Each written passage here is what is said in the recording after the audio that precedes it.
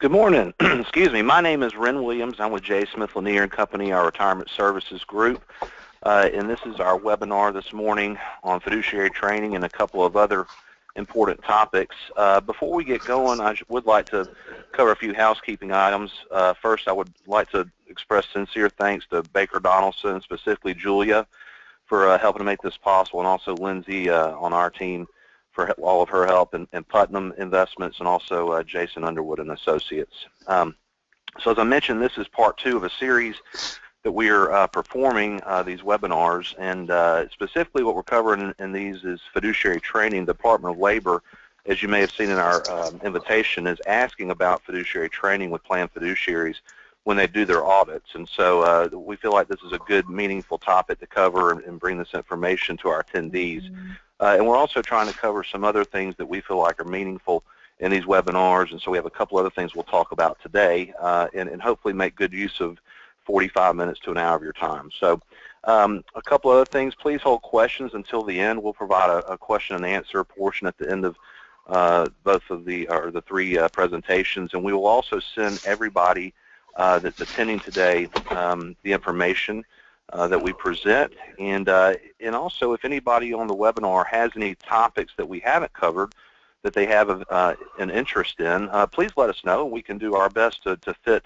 um, some of those topics into uh, one of our future webinars. So thanks to everybody who is a part of our conversation today. We've got several folks from the last webinar and some new folks, and we appreciate you spending time with us. Our first speaker today is Mike Dullaghan with Putnam Investments. Uh, Mike is the uh, defined contribution plan investment specialist for uh, the Texas to Florida to Maryland region. He covers a very large piece of real estate. Um, but prior to uh, his uh, tenure with Putnam, he spent 13 years with another very large national investment firm in a, in a similar role. Uh, and Mike is one of the best folks I know both professionally and personally, and I'm very appreciative of him uh, spending time with us today covering a very important topic. So with that said, I'll turn it over to you, Mike, and thanks for being with us today. Hey, Ren, thank you very, very much for the invitation and uh, to J. Smith Lanier and the other panelists. Thanks for the opportunity to be with you all today. And for those of you on the call who are happy about Monday's uh, Monday night's football results, warmest congratulations. And for those of you that weren't happy, I'm sorry to hear that. Um, I am uh, sitting right now in the heart of ACC country, and uh, went to a school that uh, specialized in the uh, Colonial Athletic Association, so I have nothing to say when it comes to your Alabama football success. Uh, warmest congratulations to uh, what your team has achieved. So with that in mind, let's go ahead and talk about a topic that may not quite be as exciting as college football, but arguably is very, very important, and it has to do with what the federal regulatory agencies are doing in the area of money market reform. So Lindsay, if you go to the next slide, please. And so what we're going to do today is we're going to focus on the cash portion of your retirement plan for my presentation. And you may be thinking, gee whiz, I never really thought that how the cash is managed in my retirement plan is really all that important. Well, unfortunately, we better all think again for a couple of reasons.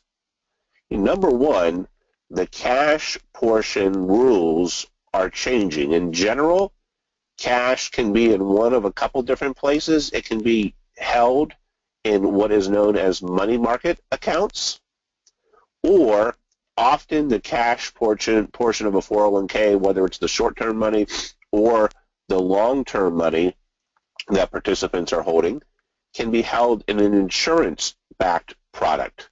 Sometimes that's known as a stable value fund. Some of you may use that type of flavor of a cash management vehicle in your plan.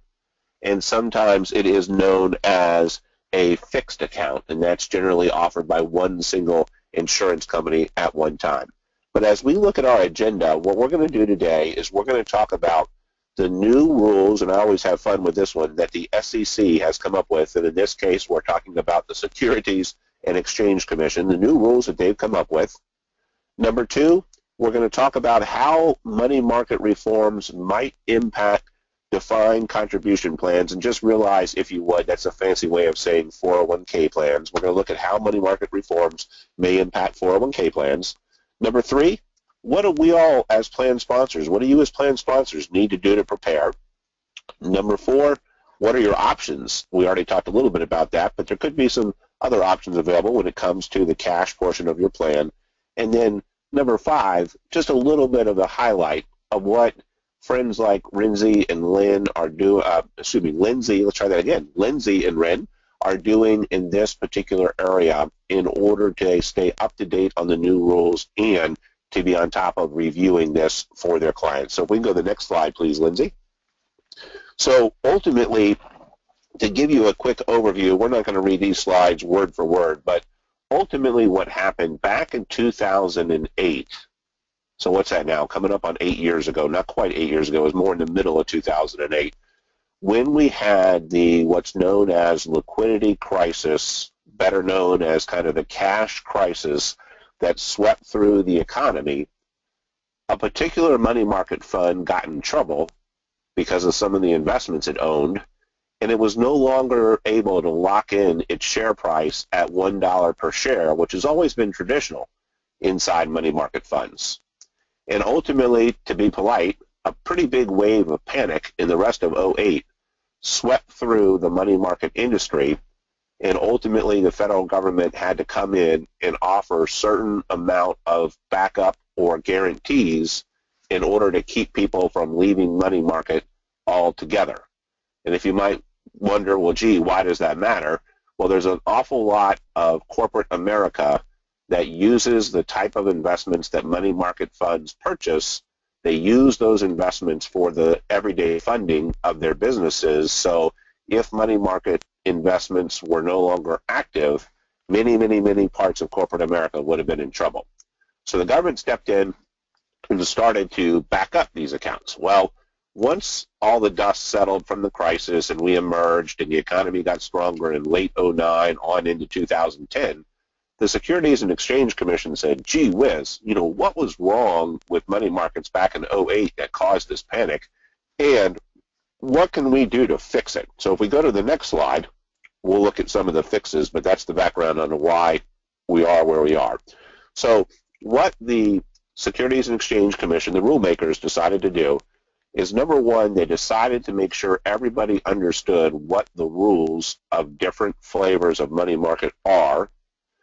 Number two, for the flavor that's owned by some of the most sophisticated investors in the industry, really not us in the 401k world, but instead different parts of the industry, they decided to remove the $1 per share rule. And then number three, they also now, for the type of money markets that we might own in a 401k, they decided to put in some mechanisms that would allow the money market managers to slow down the outflow of money if and when there developed a crisis of confidence. So that's the big thing that we in the 401k are focusing on is, huh, how do these new rules to slow down the outflow make keeping track of money market inside 401k plans more complicated? And the answer is it makes it more complicated in a big, big way. So let's go to the next slide.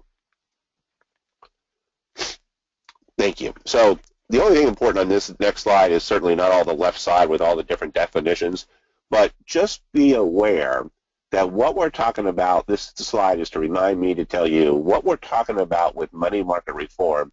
These are new regulations that are in final form from the Securities and Exchange Commission. Unlike some other regulations which are proposed and being talked about and being debated, these rules are all final, and they're actually in the implementation phase as we speak. So notice in the bottom right-hand corner, literally the final date of implementation is fast approaching. October 14th, 2016, this year, will be the final date in which the final wave of the money market changes go into effect. That's probably all we need to know from this slide, so we'll go to the next slide.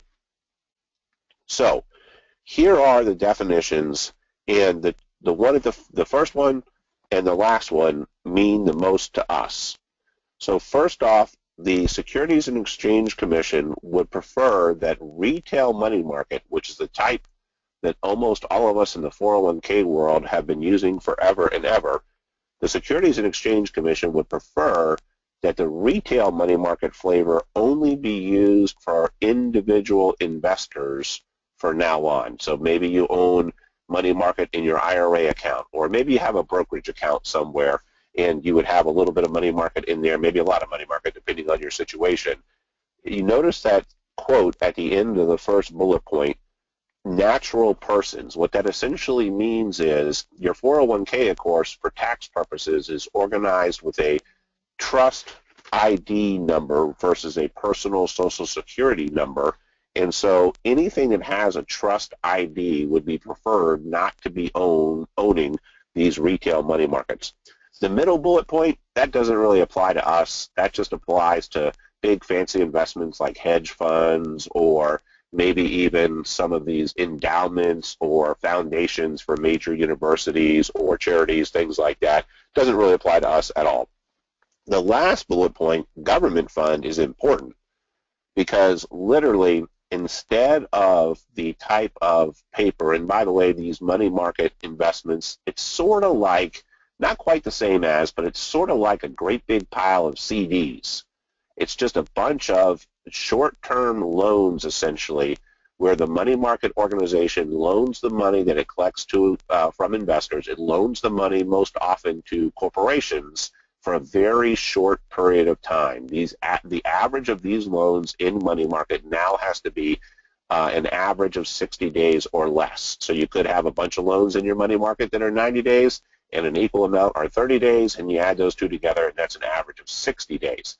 But in the last bullet point, maybe instead of getting loans out in corporate America, your money market fund is buying the loans or loaning money to, I should say, the, the federal government, the U.S. federal government. Now, this is a dangerous point, and we're not going to debate this because we'll be on the phone way past next year's football season. Um, supposedly, government debt is deemed to be safe, the safest type of investment. U.S. government debt is deemed to be the safest type of investment available in all the markets today. And I know some of you may violently disagree with that statement, but that's just how the markets treat it for now. So the first bullet point retail fund would generally in, have both both government investment debt and it would have company investment debt, whereas the last bullet point, the government uh, fund would only have, excuse me, debt related to the government. Okay, so let's go to the next bullet point, and I think we can tie this together. Thank you. So here, if you'll notice, let's just focus on the, the, the two on the right, the retail and the government. So ultimately, all I want you to notice is as it relates to slowing down the outflow of money, what the regulatory people have put in on the left-hand side is what's known as a redemption fee. And we won't really focus on the rules because we can get into a lot of technical details and happy to do that in the Q&A if it's interesting to you. But in the interest of time, all I'm going to say about the redemption fee is it allows the money market money managers to charge basically the same thing as a withdrawal penalty or in some cases even slow down withdrawals altogether in the event of one of those crises of confidence that I talked about earlier. Now, it's probably no surprise for you to hear that the people who keep track of the paperwork in 401k plans, which in the 401k world are known as record keepers, they looked at the possibility of having to keep track of this early withdrawal penalty or having withdrawals from the cash portion of the plan suspended for up to 10 business days, and they said, oh my goodness, this is just way too complicated. Um, it's too hard. We can't do it. Even if we started programming the computers five years ago to try to get the computers to be able to understand the new instructions about these new rules, it's still, excuse me, it's just not feasible. So what ended up happening is some of the largest money managers in the world that you and I could think of began during the summer of 2015, so this past summer, roughly six months ago, converting as much of the money market as they could from the second column that says retail over to that third column which says government. Because ultimately, the government money market funds do not have to charge the early withdrawal penalties and do not generally expect to have in place the ability to suspend um, people taking their money out altogether. So let's stop there because this is an important point. For many 401k plans that have been using money market up until this past summer, they were probably using the retail flavor that included government debt and corporate company debt.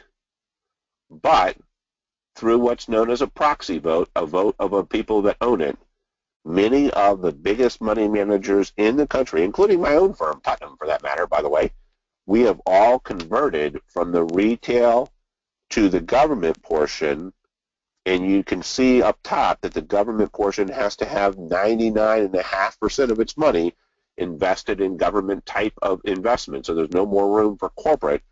We've all converted to that government portion to avoid the complication of what you read about in that redemption fee category.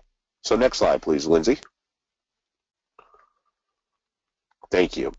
So what ends up happening is, you know, we understand that money market funds continue to be a very viable option inside 401k plans. If you look at this first bullet point, the reason investors known as participants in 401k plans often use them as the secondary bullet point under the top bullet point says is that people often use them as principal protection Plan sponsors often use it just as a holding account for various things, such as money coming in, money going out. And then some people like to hold cash, either for a big portion of their 401k balance or just as a balancing portion. So we understand that money market is an appealing option to many types of investors. But understand, too, as mentioned at the beginning of the call, that in addition to money market, there's other cash management vehicles available. And those other cash management are mainly under the second bullet point, the two below, one called stable value and one called the insurance guaranteed investment contract. The big difference is that the money market interest rate has been extremely low for the last five years and may very well continue to be low for quite a while going forward. The stable value funds and insurance funds pay out a higher interest rate. However, with most money market funds, the individual investor, uh, excuse me, the plan, if the plan decides to change money market funds, they can usually get their money back within just a couple days to change. But with the stable value or investment guaranteed contract, the insurance guaranteed investment contract, usually if the plan wants to change altogether, they're going to have to wait for a 12-month time frame. Can we move to the next slide, please, Lindsay? Thank you. So, what should you as plan sponsors do in my last couple of slides here, tying everything together? Well, first off, given that if you already had money market, a conversion likely occurred in your money market behind the scenes this past summer, that's probably a pretty good reason, as this first bullet point says, to assess your current investment options. Just take a double check of, geez, how much of our plan is in money market in the first place? Why is it there? And is money market better than some of these insurance-based contracts that are out there? Number two bullet point here, or check mark, is evaluate the current capital uh, preservation options and perhaps consider a change. So money market in many cases today has paid what's known as one basis point or one uh, one hundredth of a um, one one hundredth of a percent for uh, a long, long time. You can get better rates from insurance-based contracts, but again, realize you may not have as quick of access to the account if you, the plan, decide to change. There's a lot of moving pieces that Ren and Lindsay can lay out for you as to what the trade-offs would be. And then ultimately, as the last two bullet points um, mention, just understand that mm-hmm. these regulations are causing literally billions and probably more than that, even in the trillion range of dollars to change the type of investments that they're using behind the scenes. So as with anything else, if you were asked the question, gee, how did you end up in this particular money market account? answering that question by saying, oh, I'm not really sure. We think our money manager just changed it to that flavor when, when all the new rules were coming along.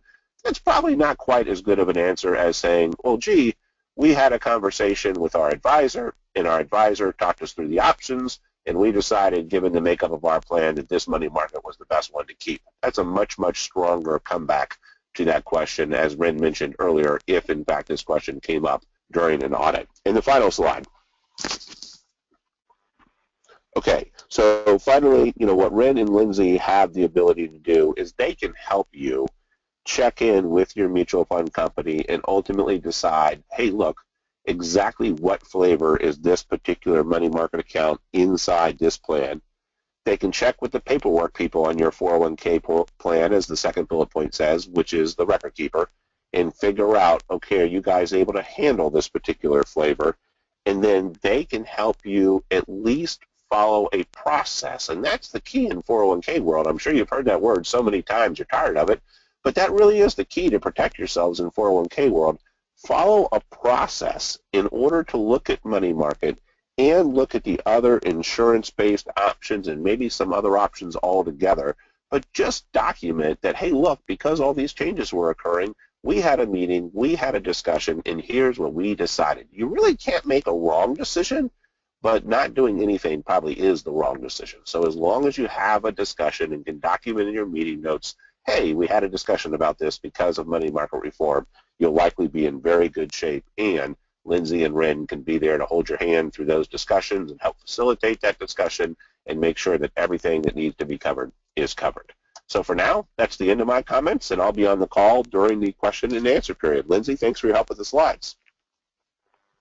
Hey, thanks, Mike. Great job. Uh, very succinct synopsis of what's happening. And, um, you know, I'll kind of echo a few things Mike said. I think the biggest thing everybody should uh, keep in mind is it's important to ask questions. Um, you may or may not know if, if this may impact you, but there should be somebody that's working with you in your plan that could easily answer these questions and do some homework for you to make sure you get out in front of this.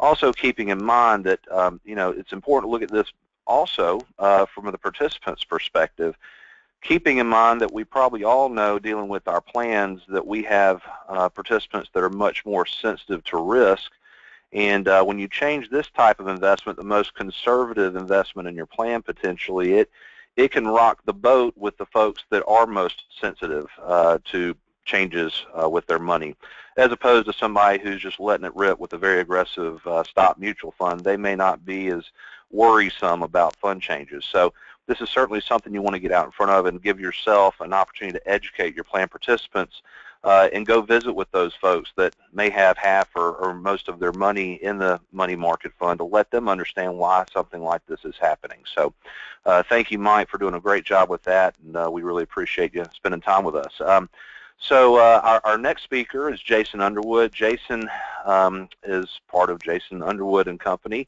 Uh, and uh, several years ago, Jason split off from one of the largest top regional CPA firms. He was head of the uh, plan audit uh, division as practice leader.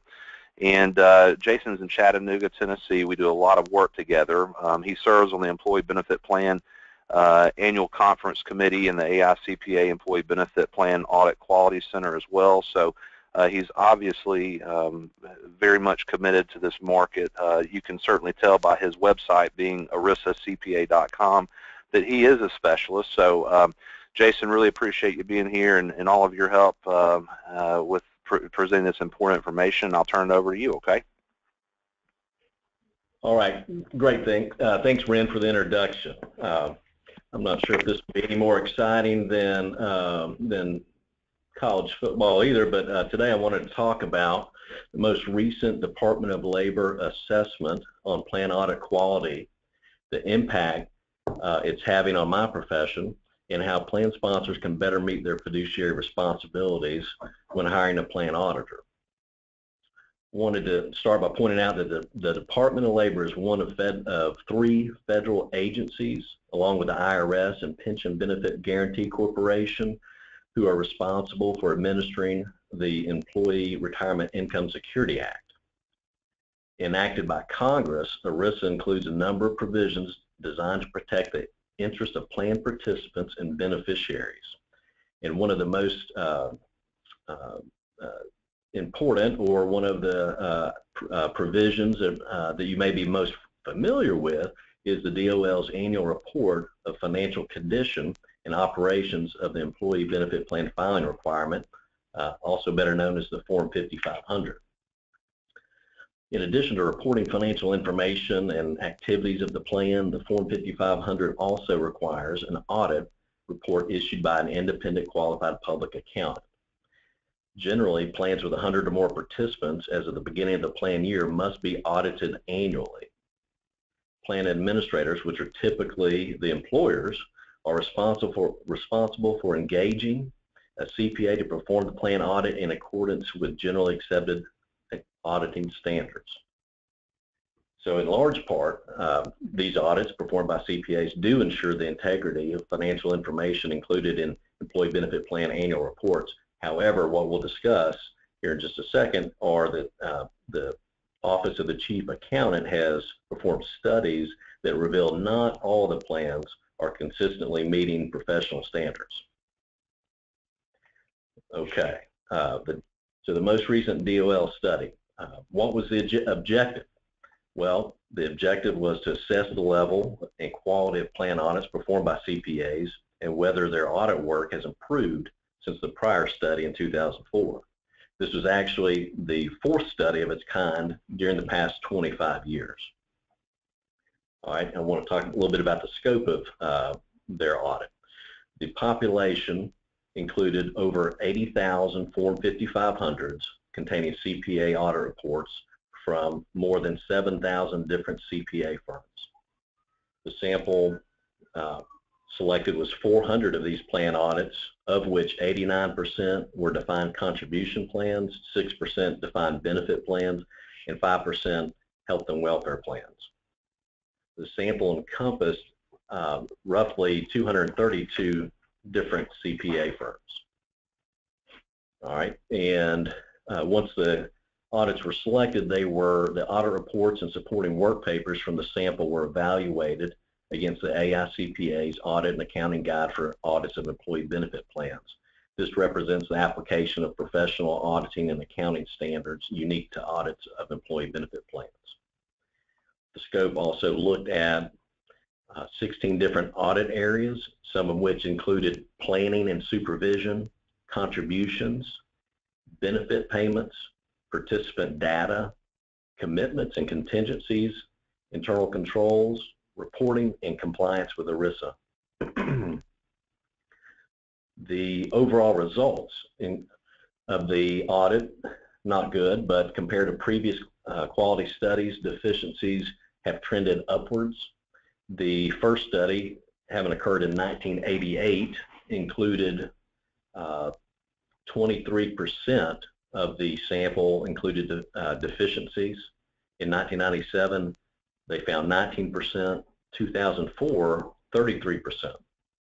In this most recent study, nearly four out of every 10 plan audits, or 39%, contained what they called deemed unacceptable major deficiencies with respect to one or more relevant generally accepted auditing standard. Uh, in effect, putting 653 billion dollars in uh, more than 22 million plan participants and beneficiaries at risk. the 61% of audits that comply with the professional accounting standards uh, complied completely or only had minor deficiencies. Out of, uh, want to point out that out of more than 7,000 CPA firms performing audits, they noted that 93% performed less than 25 plan audits annually, while 50% performed less than one or two plan audits annually. And as expected, CPA firms performing only one or two plan audits annually had the highest efficiency rate of about 76%. One other thing to note in the uh, their study was that more than 80% of the plan audits were limited scope audits, which rely on certifications from qualified trustees or custodians which certify to the, com the completeness and accuracy of the plan's investment information. Uh, one thing I want to point out is that uh, unfortunately the DOL discovered that some auditors considered a limited scope audit to be a compilation and therefore not subject to their firm's peer review uh, process, which would be incorrect. Uh, both the DOL and the AICPA have tried to eliminate the limited scope option. However, it's simply not passed through Congress. So based on the evaluation of more than 200 CPA firms included in the sample, it was noted that the peer review and practice monitoring efforts did not improve audit quality uh, or help in identifying deficient audit engagements. We'll talk a little bit more about that later. The study also revealed CPA firms who are voluntary members of the AICPA's Employee Benefit Plan Audit Quality Center, which was established back in uh, October 2003, fared better than non-members. Okay, wanted to touch on some of the detailed deficiencies that were found, uh, and I'll point out just a few of those. The uh, starting with ERISA reporting and disclosure failures, those included um, required supplemental schedules which were not attached or even prepared. They also found that footnotes in the plan's financial statements were either incomplete or missing. Delinquent employee contributions were not properly reported or disclosed in the CPA's report or the plan's Form 5500 filing. Some of the audit areas with the most audit deficiencies included internal controls. Deficiencies there were noted as uh, no or inadequate documentation of internal controls, failure to assess or document control risk, no evidence of what's called referred to as a SOC 1 report reviewed or reliance. The SOC 1 report what that does is pro provides the auditor with information about the design and implementation of controls at plan service providers over financial reporting. Uh, these reports provide a basis for auditors to assess risk of material misstatements. Uh, but they have to be obtained, reviewed, and document your review. Uh, another area involved contributions received or receivable. Those deficiencies included failure to test timely remittance of employee contributions, failure, failure to test compliance with plan compensation, no or inadequate testing of forfeitures, uh, also a failure to agree, and this is a big one, but a failure to agree, reconcile contributions to plan sponsor payroll records, employee records, custodian or trust accounts, and the Form 5500 Schedule H. One more area uh, with audit deficiencies uh, included benefit payments. Those deficiencies included no recalculation of benefit payments, no or inadequate work regarding eligibility of individuals receiving benefits. And this was pretty bad, but uh, some, some just had no work performed in the benefit uh, area. Uh, also, no or inadequate work regarding validity of claims and inappropriate reliance on the SOC 1 report. Mentioned earlier that that SOC 1 report gives auditors uh, information on the controls of plan service providers, but it, it allows auditors to reduce testing, not eliminate testing. Uh, another area was participant data. Deficiencies included failure to adequately test allocations of participant accounts, insufficient testing of payroll data, no reconciliations of total participant accounts to total plan assets, also a failure to adequately test eligibility, terminations, and forfeitures. And one last audit area I'll point out uh, that had a significant amount of deficiencies was planning and supervision. Uh, deficiencies noted were insufficient review of plan documents and plan operations, um, the lack of evidence of planning and analytics with developed expectations. Um, some had no audit programs to, to uh, aid and assist in the audit or document their steps performed, as well as uh, inadequate assessment of fraud risk. So as a result of this study, I want to point out that the DOL has made several recommendations to improve audit quality uh, none of which have been put in place just yet, but it, it will be interesting to see the effects and what may become new requirements going forward. Okay. Moving on to the impact on uh, my profession, CPAs. Uh, as one can imagine, the level of audit deficiencies reported in the DOL study was not good for our profession.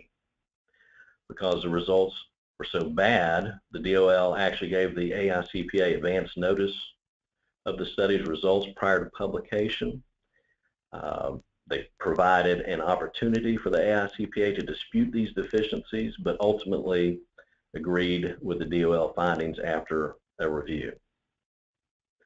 As a result of the study, as well as, as well as other recent concerns for audit quality, the AICPA, I wanted to talk about what we're doing to address this. What they've done is put together a process of implementing a six-point plan to enhance audit quality. Uh, the plan includes several initiatives, and I'll just touch on some of these. Uh, some of those include changes to college-level accounting education, uh, also additional doctoral level audit professors with practical experience, uh, begin including critical thinking and professional skepticism on the CPA exam, uh, improving firm quality control standards and support, and one area, one of the six uh, points that I want to speak about uh, that I think is a great one is a competency and learning website which promotes specialization and offers new certifications for auditors, auditing plans. This website will allow auditors to assess their uh, employee benefit plan auditing knowledge, identify and target education areas where they have uh, deficient competencies. Uh, also, it will allow comprehensive uh, certificate programs designed to differentiate auditors with strong employee benefit plan audit competency and specialization. Uh, that's supposed to come out this year, uh, but as far as I know, I haven't seen anything that allows you to start taking those courses. Uh, one more thing with, uh, I want to point out peer review. There's going to be a more focus on employee benefit plan audits during peer reviews. Also, an increased peer reviewer qualifications and additional oversight will be implemented. Uh, our profession will uh, talk about one of the points is moving towards a real-time self-monitoring of firm quality, allowing firms to identify deficiencies, deficient areas sooner and adapt corrections and competencies to um, improve quality. And lastly, uh, one point would be enforcement. There's going to be improved ethics enforcement process. The AICPA and DOL uh, will be, we're talking about sharing investigation information with state boards of accountancy. Okay. Moving on to the next slide. Uh, many of you may have recently received an email from the chief accountant. This email was sent to all plan administrators requiring plan audits and included a heading or a topic of tips for selecting and monitoring a plan auditor. The correspondence identifies plan administrator's fiduciary responsibility to hire a CPA, uh, also includes a link to the recent DOL study, as well as items to be considered when selecting a plan auditor. I wanted to mention those points that are good points to consider. Those would include, when hiring a plan auditor, uh, maybe ask about the number of plans they audit. If it's one or two, you, you want to steer clear. But uh, ask about the number of plans the firm audits, also the extent of their specific plan audit training, uh, inquire about the status of CPA's licenses with applicable state boards of accountancy, whether the CPA has been subject to prior DOL findings or referred to a state board or AICPA for investigation. And one other point would be whether or not the CPA's plan audits are peer reviewed, and if so, whether the reviewed results had any negative findings. Uh, and the, the DOL has uh, also information, there's a link included there at the bottom of that slide uh, that summarizes those that information that the DOL has put together.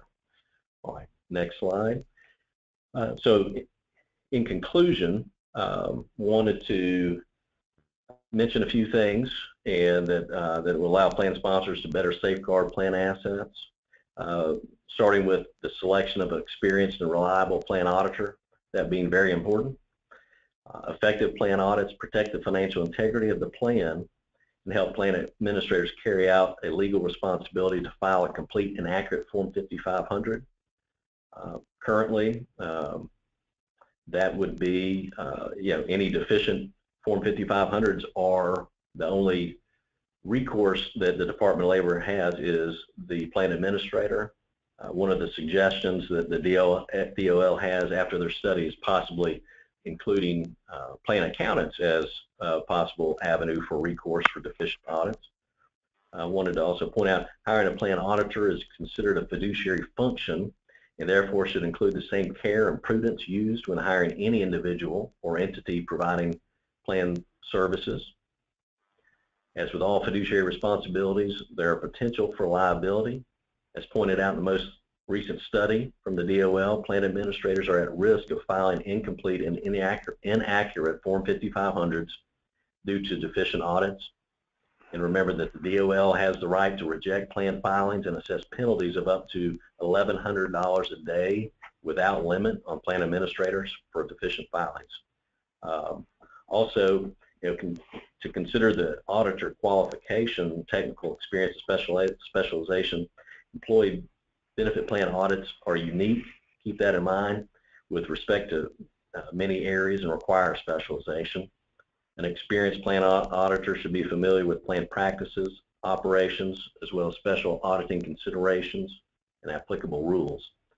Uh, lastly, I want to point out that uh, if you haven't, visit the AICPA's Employee Benefit Plan Audit Quality Center website. It's a great resource for auditors, but also for plan sponsors.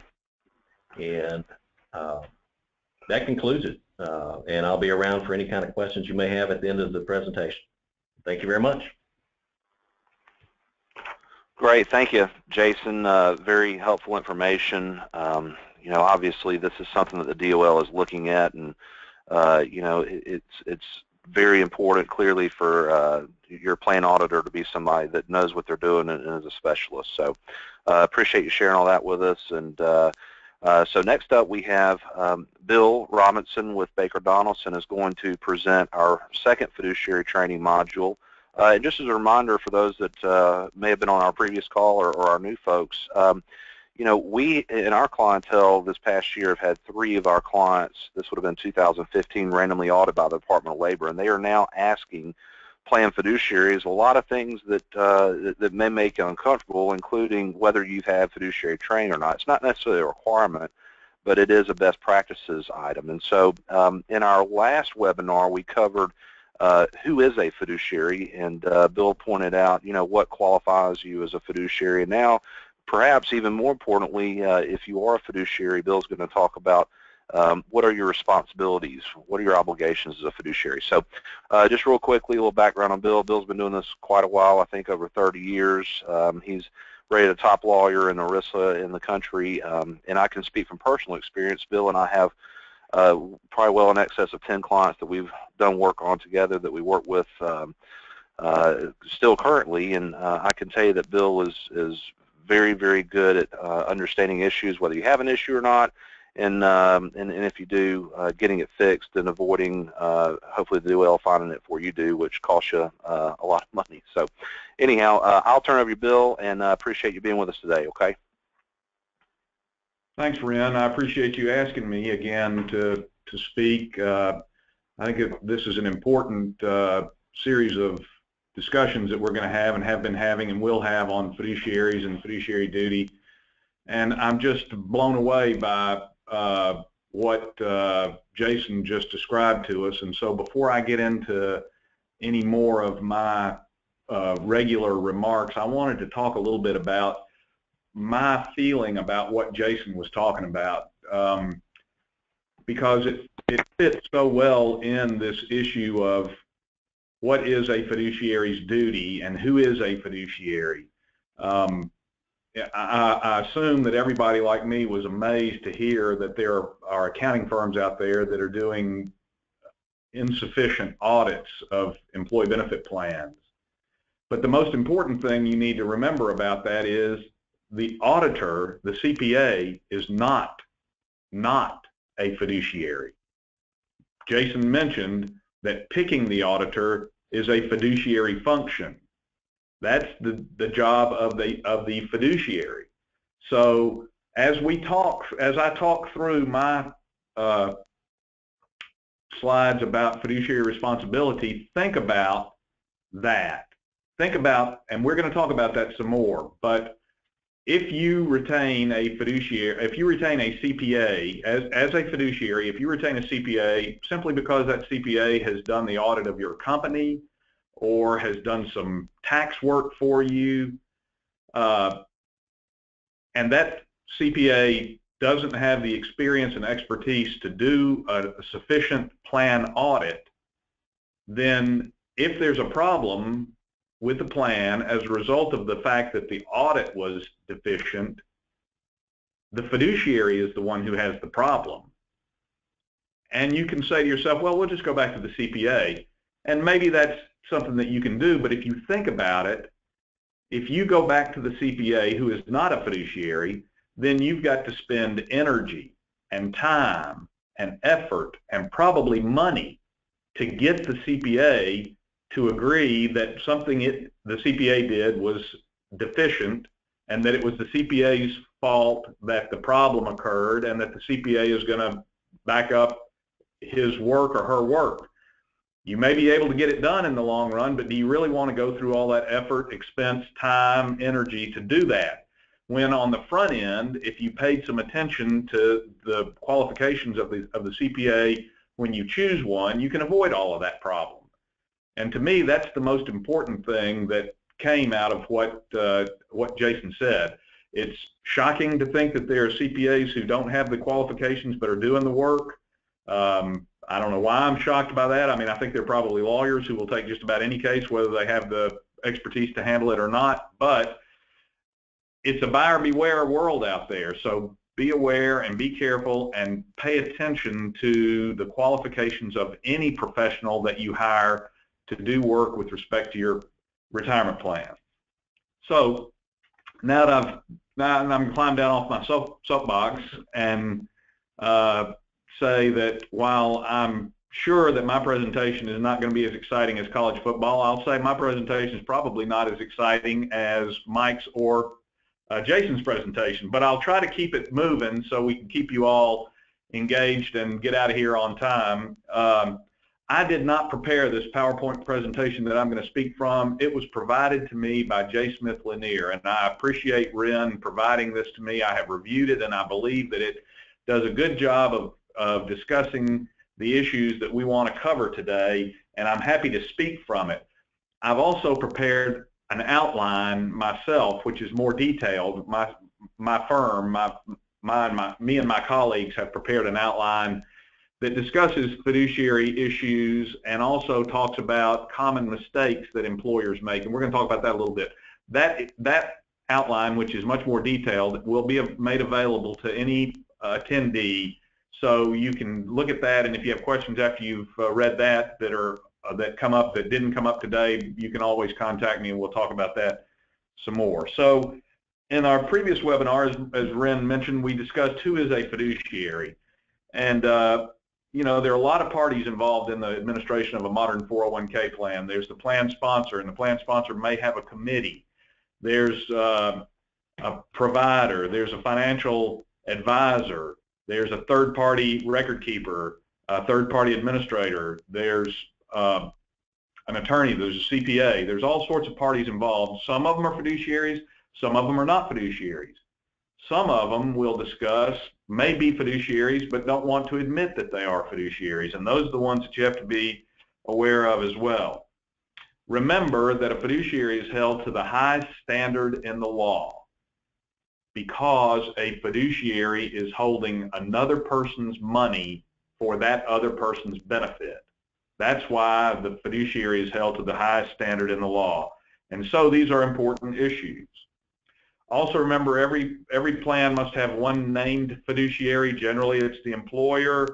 Uh, sometimes it's the owner of the company, uh, members of the board of the company, members of the administrative committee, and even investment professionals uh, who give advice for a fee may be a fiduciary. All right, so we're going to go talk about fiduciary responsibility. We're going to go through these aspects uh, of fiduciary responsibility. You've got to carry out your duties prudently. You need to follow the terms of the plan document, diversify planted assets, and pay only fair and reasonable expenses. All right, in this slide, the important, the most important point is in the first bullet point. When acting on behalf of the plan, exercise the care, skill, prudence, and diligence that a prudent person familiar with such matters would exercise. That's the key language, prudent person familiar with such matters. That language is straight out of ERISA, and that language causes a fiduciary to, to be held to what is called a prudent expert standard. An uh, fiduciary is expected to be an expert with respect to a qualified plan. So what does that mean? Well, I'll tell you one thing it doesn't mean. It doesn't mean that, that the fiduciary has to be right every time. Even experts are not right every time. The Fifth Circuit, in one of its cases related to this issue, said Prudence is a guarantee of an adequate process to reach a reasoned decision, not a guarantee of a result. Mike mentioned it in his presentation. I think uh, Jason mentioned it too, and I'll say it more than once during my presentation. It's very, very important to have a process in place and to work through that process uh, to make decisions.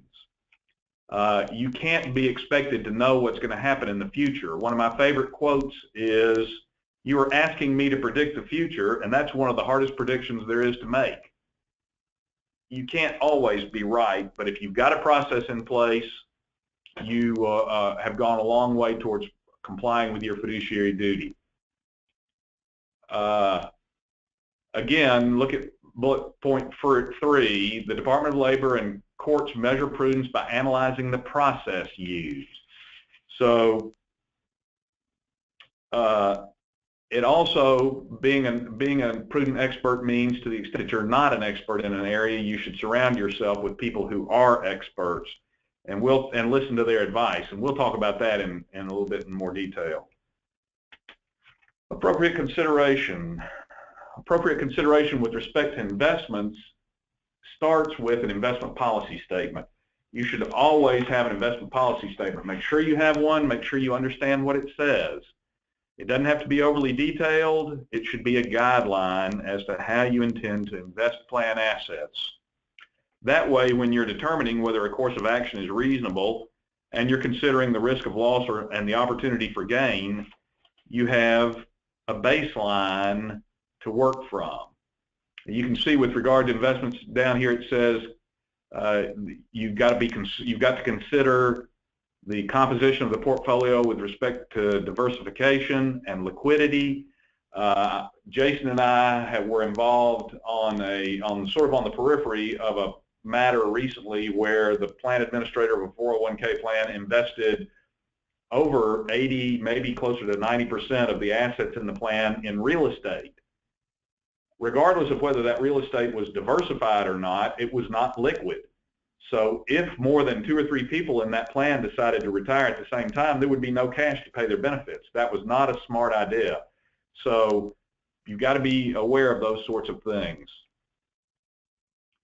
Follow the terms of the plan document. Be familiar with the plan document.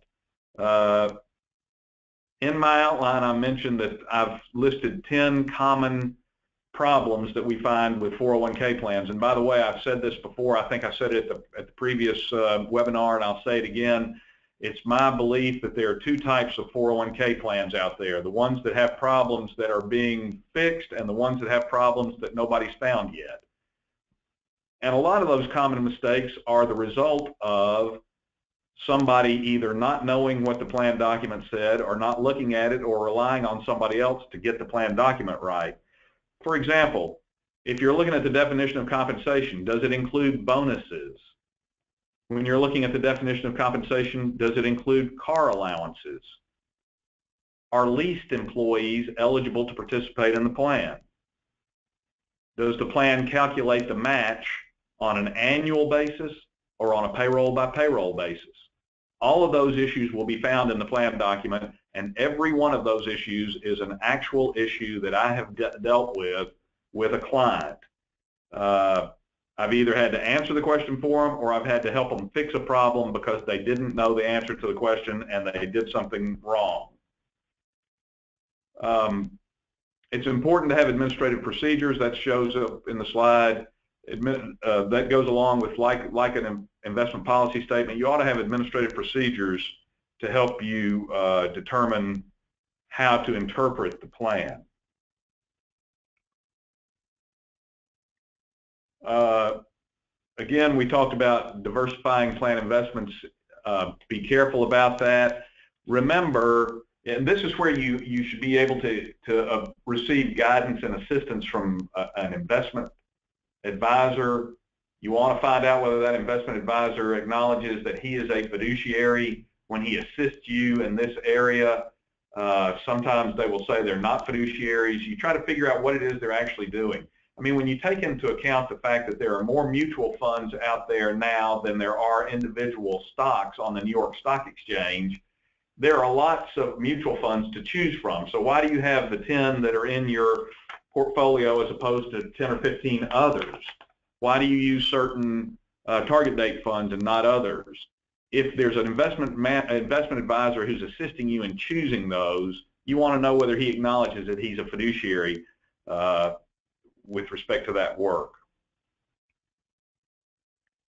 Uh, this goes back to this prudent uh, expert standard. As I said, you should rely on other uh, information. You should be able to rely on the information that you receive from other uh, individuals and entities, uh, but you can't just accept that information at face value. You, and I think uh, Mike made a really good point about the money market funds. It, and that point should be expanded to any kind of administrative issue. When you're dealing with a professional, whether it's a CPA, an investment advisor, an attorney, ask questions. Make sure that you understand why they're giving you the advice they're giving you before you simply accept it. And if you do that, and if you document it, then you're going to be you're going to go 90% of the way towards complying with your fiduciary duty you, the plan fiduciary, has to make the decision. All you're receiving is advice. You're not the, the these professionals are not making the decisions for you.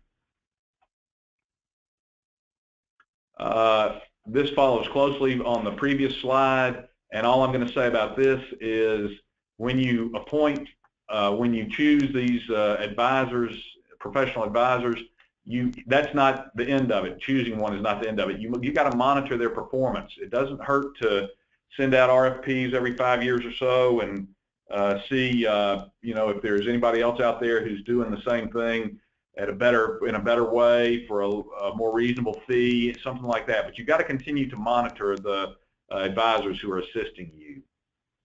I'm not going to speak any more to this, as I think Jason has spoken to the reporting requirements. Those are the 5500 requirements that he talks so much about. As you can hear, you know from what he said, that is very, very important to get your 5500 and the audit that goes with it done correctly. Uh, fidelity bonds. Uh, this this slide is pretty self-explanatory. Every plan should have a fidelity bond. If if the money gets stolen or something like that, this replaces that. It's separate from fiduciary insurance. You can also obtain fiduciary insurance, and if you want to know more detail about how to obtain fiduciary insurance, we can talk about that uh, uh, later on. So I've tried to go through this pretty quickly. I think we're just about out of time. Um, uh, we're happy to entertain questions now or later on. We're going to continue this discussion on fiduciaries uh, at our next webinar, which is coming up, uh, I think, in March. Um, so, Ren, I'm going to turn it back over to you. Okay, thanks, Bill, and uh, appreciate you presenting that. And um, yeah, like Bill mentioned, we this is part of a series. So our next webinar, I don't think we have a final date yet, but we'll be in March, and we'll cover um, fiduciary liability uh, as our next module. And more than likely, we've had to guess, we'll also have another economic update. Uh, if you recall on our last webinar, uh, we did that, and, and, that information was pretty well received, and it'll be very interesting uh, to, to, see um, what the economy's doing in just a couple months based on what's happened here recently with the market being down so much and all that. So uh, with that said, uh, do we have any questions from any of our attendees?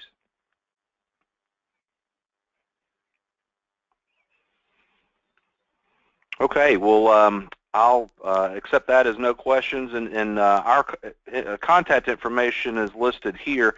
Please, if you didn't feel comfortable asking us a question or you think of something you didn't ask, let us know. And, uh, and like I mentioned before, if there's something you would like to hear about or maybe an issue you're having with your plan, uh, let us know and we might be glad to uh, just offer you some input or, or it may be that that's something that we should make part of our next presentation. So with that said, thank you so much to Baker Donelson, Putnam, and uh, Jason Underwood for being a part of this. And thank you very much to our attendees for spending some of your day with us and I hope this was helpful. So um, with that said, everybody have a great day and thanks again.